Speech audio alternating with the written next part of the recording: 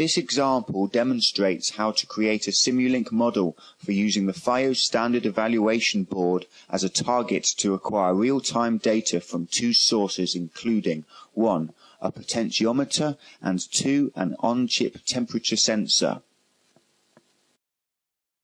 Both analog inputs will be sampled and converted to digital values by an on-chip 12-bit analog to digital converter set at a 100 Hz sampling rate. The converted data will be sent to the host PC by USB Human Interface Device Protocol.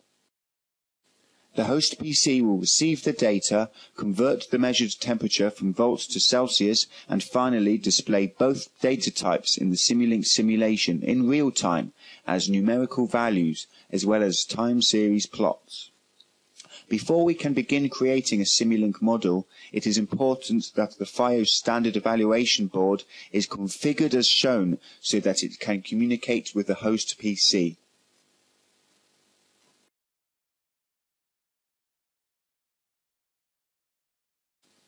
Important points to note are as follows. 1. Jumper J5 must be set to USB, which is in the lower position. This allows us to use USB as a power source for the board.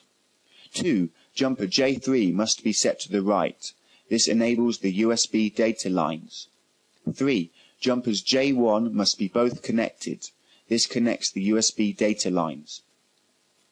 4. Jumper J9 must be set to high, which is in the lower position. This allows the board to be set to USB in application programming mode. 5. The program switch must be set to the right. This will set the board to the programming mode.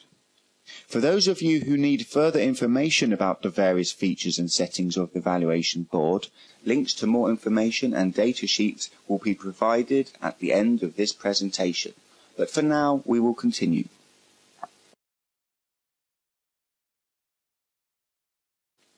We are now ready to connect our target to the host. Upon connection, you should see two LEDs light up. One is the power LED and the other one is the programming mode LED, which indicates that we are in the programming mode.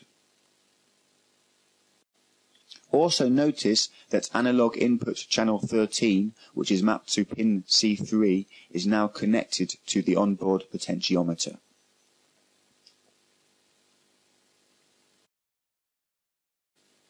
We can test whether our target is connected properly to the host by typing in the request product info command at the MATLAB command window, with USB as the first parameter and name as the second parameter. Upon entering the command, if everything is working fine, we should get the name of our target, which is FIO standard.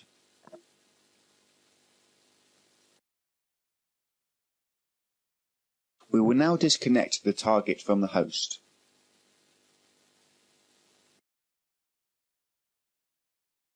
If we try to run the same command again, the system gives us a warning. If we connect the target to the host again and run the same command, we should get the same correct response.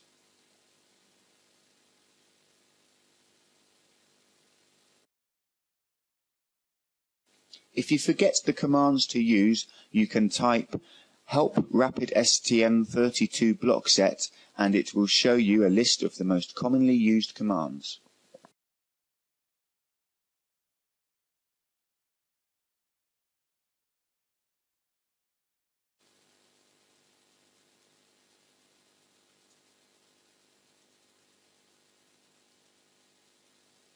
We are now ready to create our first Simulink model for our target, but first I recommend that a new folder is created to save all the project files in one place.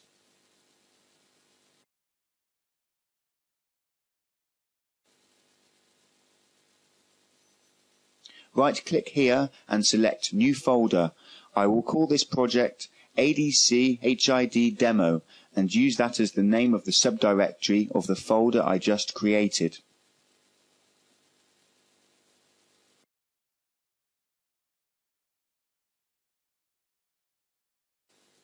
Double clicking on the folder will take us to that directory here. This is important.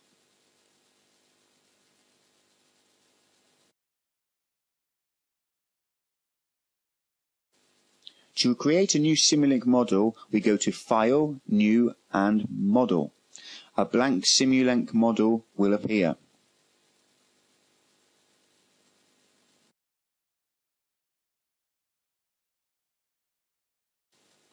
First, we will save as. I will use the same name, ADC HID Demo, and then save.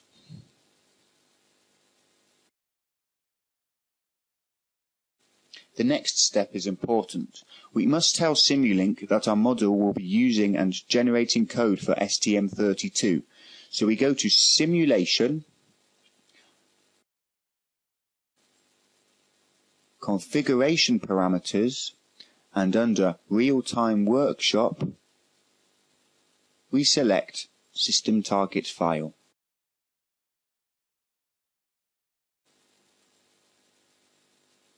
Browse and select Rapid STM32 Target and click OK.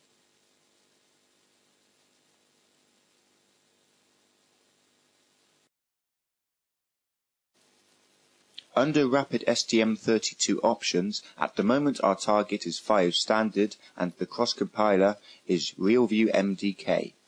Click OK and save that once.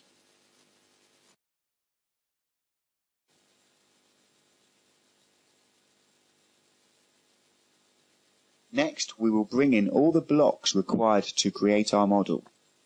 We can do that by opening up the library browser and going to Rapid STM32 block set.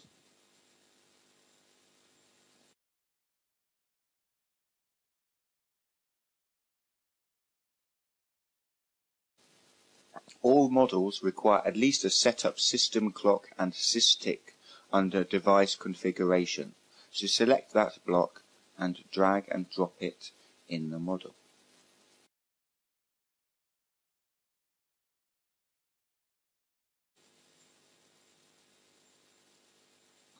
Since we are using the FIO evaluation board, we can automatically compile and download the generated source code in one process.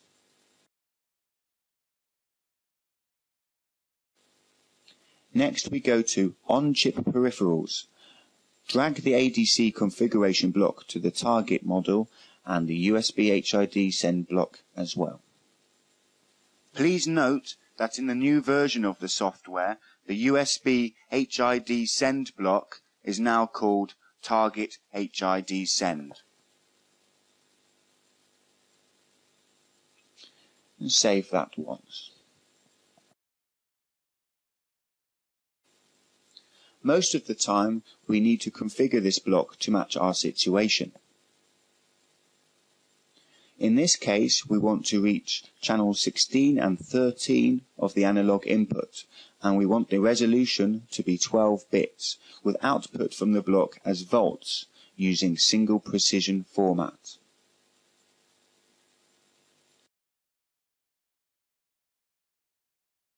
The sample time is 10 milliseconds or 100 Hertz. If you press help, you can see which pin is mapped to which analog input channel.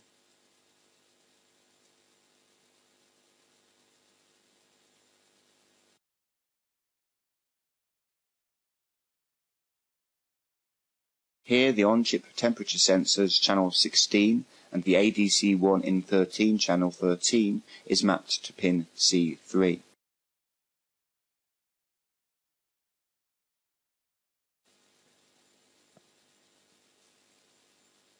We will close that for now. Click OK.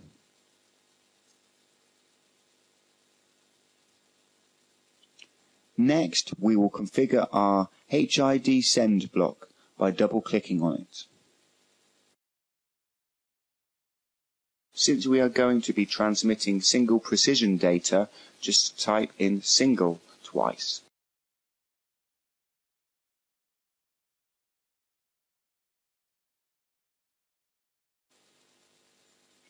The sample time of minus 1 instructs Simulink to just inherit the sample time from the source block that is connected to this block.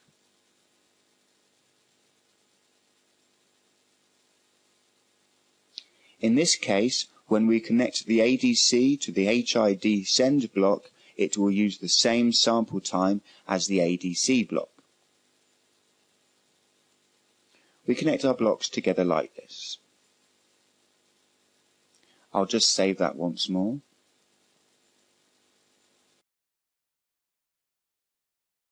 We need to update our system model twice. The first time you can see changes in the color of the system model. Each color represents the sample time of the model. You can use the Control and J hotkey to display which color represents which sample time.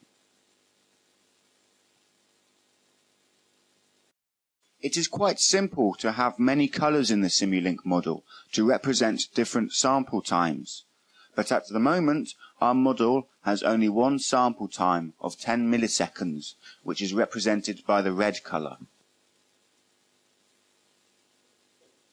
Next, we will have to update the block diagram again because all the sample times are still at zero.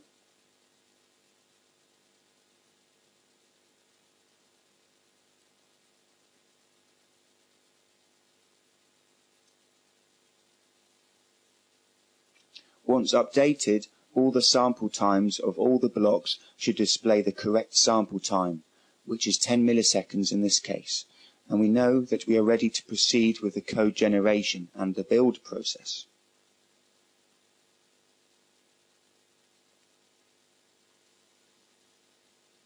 To build our model, we just go to Tools, Real-Time Workshop, and then Build Model, or just use the Control plus B hotkey. Click OK and then the build process will proceed from the code generation that generates the C source code and header files to calling RealView MDK to compile source code and finally download the executable to the target. You can see the process and the progress in the command window here.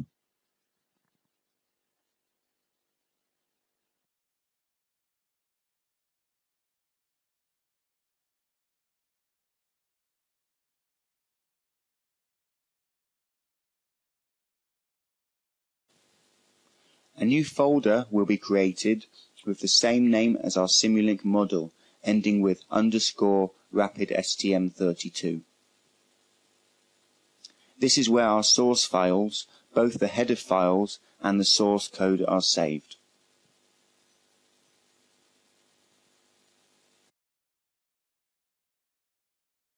Now you can see the programming progress is taking place and then that the process has successfully completed.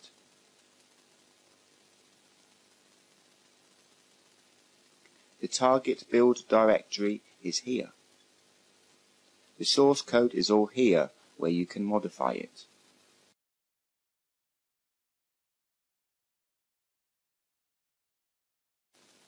This completes this section for creating and building our target.